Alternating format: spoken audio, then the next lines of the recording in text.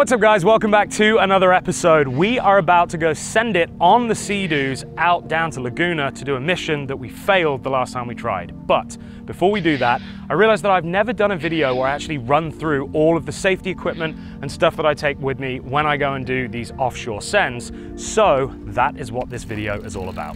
So first thing is first, anytime you're out in the water, obviously you want a really good life jacket. Now, I've been rocking the Sea-Doo life vests since I got this thing, and they are great, super comfortable, they look great. They're also neon yellow as well, which I approve of. But I wanted something that would allow me to attach some of the other safety gear that I take with me, radio, EPIRB knife, stuff like that. I am probably gonna be adding some more stuff as well as time goes on. So I just picked up this Mustang survival vest. I paid for it, this isn't sponsored. I actually haven't even worn it yet, but the reviews are great. And this is actually a rescue swimmer's vest, which means that it has super high buoyancy and the ability to move around when you're in the water. And obviously, I'm hopefully never gonna have to do that. But when I'm on the ski, it means that I'm not gonna be encumbered. So it's a super nice jacket. And on here, we'll get through to some of the most important stuff that I carry with me. So number one is this radio. So I use this. This is the ICOM M93D. Now, I do know that they have discontinued this model and there is a newer one available. So I do want to give you the link to the newer one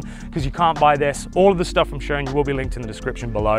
This is a brilliant radio because it has a distress button on the back. So this has Jordan, JD Jordan's filming this for me, by the way, guys. Is it MMSI?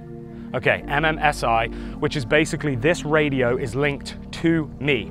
So if I was ever to go in the water, pop this distress button, it has a built-in GPS, it will send out a distress call, people will know that it's me, people will know where my location is, all from a radio. So one of the other really important things that I carry with me on my person at all times is this PLB. Now what this is is a personal location beacon and basically if I was to go in the water, I would pop this antenna out I would push this button. And again, this is kind of the same as the radio. Now, a lot of you watching this, especially if you are proper boaty people, will think that I'm way overkill and I have way too much safety gear. Jordan's nodding. And what I will say to you is, I would rather be the guy that has it and doesn't need it than the guy that needs it and doesn't have it. You know, let's say the radio dies, the battery in that dies, that's gonna stop them from locating me. This thing is kind of a one-use thing. When you're in trouble, you hit the distress button and that is your location beacon. So I do have a lot of um, redundancy measures in place because I am terrified of sharks. And so the worst thing for me would be to be in the middle of the ocean, floating around with sharks out there. So now I love sharks, but I'm terrified of being eaten by one. So I wanna be found as quickly as possible. So that's why I also have this PLB. Also, I can use this if I go hiking or if I'm camping out in the middle of nowhere. I can carry this with me and it's the same type of thing. It would send out a beacon that they can get picked up by helicopters or local rescue team, whatever. Um, so that's a good thing about that. I do keep it on my life vest at all times, but if I wanted to, I could take it elsewhere. Now, the next thing I've got on this jacket is my balloon killer. So this is just a cheap pocket knife. Uh, it's getting rusty now because it gets sprayed so much, but it is still sharp and it does still work. But mostly what I use this for is popping balloons that I find when I'm riding around uh, and uh, yeah, putting them somewhere about the ski to get them out of the ocean, uh, but also just handy to have a knife. If you get snagged in a line or something like that, or you have to like harpoon some seaweed, because I'm vegan, so I'm not gonna harpoon a fish to survive. How long do you think you can survive on kelp? I think I'd do pretty well just like on kelp. Apologize guys about my profuse sweating. It is a thousand degrees right now and I am on concrete with no shoes on. So yeah, you'll just have to forgive me for that. All right, let's get into more of the safety equipment and rather than spearing a fish, I do always take food with me when I go and do any kind of like offshore sends. And I do joke and say that I think I would be the only person that would get lost offshore and come back having put on weight because I carry so much stuff with me when I go and do these kinds of trips. So that is obviously what I have on my person when I'm out riding this thing. Uh, in terms of riding gear, I wear a wetsuit. This one's by a company called Slippery don't know why they decided to call themselves that, but it is the best riding wetsuit that I could find online. Uh, it's just like a bib, so it doesn't have arms. So I normally will wear a compression shirt, like a rash vest, over the top of it, then the uh, life jacket, and that's just the most comfortable that I am riding when it's hot, riding when it's cold. These things really do help. So I do see a lot of people riding in board shorts and t-shirts, but I don't know, when I'm out doing like sandy sends, I just like to wear a proper wetsuit. Um, and this has got like nice knees. So as you can see, I can sit in contorted positions like this very comfortably. Uh, then I also do have my Sea-Doo riding boots, which I am due a new pair of these because I've beat these things up and I do have a new pair on the way. Um, but I just feel so naked now riding without gloves, and boots. It's so weird. If I'm on a Sea-Doo and I don't have them, it's like, I don't know, I just, it's, it's weird to me. So I love riding with those. Like I say, I also have gloves as well. Um, and then under here is where some of the additional safety equipment is. Uh, so these are the gloves that I ride with. They're just kind of like very thin mountain bike gloves. They just give me a bit of grip and also on longer rides stop you from rubbing on uh, the handlebars. Um, but yeah, let me show you some of the stuff that I've got up front here. Number one, we have first aid kit. So this is survival kit. So this thing has things to stop bleeding. So we have tourniquets and we have all kinds of stuff that would uh, help you if you were to say, you know, get injured, hit your head, fall into the water, get a cut, something like that. This is gonna get you by and at least be able to stem any bleeding that you've got or stabilize any type of break. There's slings in here. Um, there's also like antibiotic cream so that whatever, if you were to get washed up on an island, it's very small, very compact, but it has a lot of goodies in here. Uh, then I also carry a spare mask. This is one of my old dive masks. I always carry this around because if I do suck something up into the intake and I have to jump in the water and clear it out, much easier to do when you can see what you're doing. So this is always in there. And like I said, we are about to go out on a fun send uh, out of here, which will be in next week's episode. So stay tuned for that. And if you aren't subscribed, please subscribe because I'd love to see you here again and show you what we get up to. Um, but I also have my dive mask and snorkel with me as well. But this lives on the Sea-Doo. Uh, I have a battery powered suction cup navigation light. So when I'm riding and it's dark, I can put this on the front and people can see which way is which. And more importantly, the Harbor Patrol don't mess with me because I have the correct stuff. I also have another pair of gloves here. Again, this is if I have to pull anything out of the, um, let's wait for that private jet. So I have a second pair of gloves and that way I can taunt Jordan when uh, he starts to get his little boo-boos right here and I'm like, you want the one? Gone. Another important thing, flare.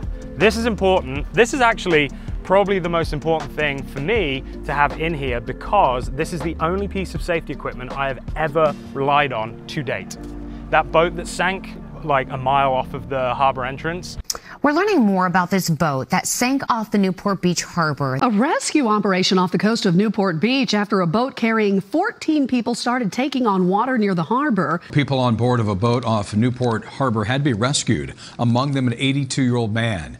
I struck a flare because the uh, lifeguard or the Coast Guard couldn't see which boat it was that was in distress because there was a big boat in front of it. And so I had a flare and I lit it and it was so much fun. So yeah, the, uh, the flare is definitely an important one to make sure that you can be seen. They are super bright even in daylight. So definitely well worth carrying flares. And then obviously some sunscreen as well. That really helps uh, just to keep days like this from absolutely frying you. I said redundancy, so I have an offshore life vest as well. So this is actually a size too big for me. And the reason I did that is because I wanted to be able to put it over the top of whatever life jacket I was wearing. So if I literally need to float because I can't kick or swim or whatever, then I have multiple ways to keep myself afloat. This is always in here when we're doing these long sends because you never know. Also, if you're ever to find someone who was out in the water, who maybe, whatever, you, I just like to be, do you get this? I like to be prepared. Does this, yeah, okay, good. I'm glad you're kind of seeing the pattern here. This is probably the most over the top thing that I have because this is an EPIRB. So this thing would be thrown into the water and float around. And again, so you switch this, hit the button, this is like the big daddy. I don't think I know anybody else that has a Sea-Doo that has one of these. I think everyone just runs the PLBs. But when I was looking for safety gear, it actually came as a pack. So I got this and the PLB all together. I think it was like 700 bucks, something like that, which sounds like a lot, but honestly, I would rather have it and, you know, like I say, never need it. Um, so I do have an EPIRB, and then in here as well, there are some other goodies. Uh, I actually think I have, yeah, so additional flares in here. Um, and then, this is kind of cool. I don't think I've ever showed you this, Jordan.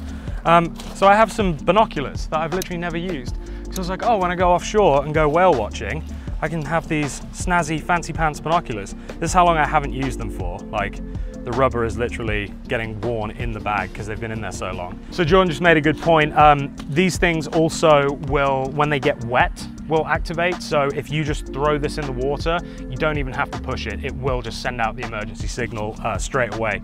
So that's another really good reason to have an EPIRB. And Jordan said that he actually has one on his dinghy. So They're not just for big boats, um, but definitely this is a considered effort, right? If I was to get ejected from the ski, this lives in the front. I'm not gonna be able to like, you know, or might not be able to swim back in and get it, hence the PLB that's always on my body. But if I was just floating around, no power and needed help, throw this in the water, lay back, get a suntan, enjoy some of the snacks that I will have bought, and wait for the, the boys to show up. This pouch right here, which did contain flares, now doesn't have them because the flares live in here, this has water in it. So I have these long life water packets, as well as just bringing bottled water with me on all of the trips that I go on um, as well. But I just have those in there just in case I was to have drank all this or, you know, forgot it. And then obviously fire extinguisher.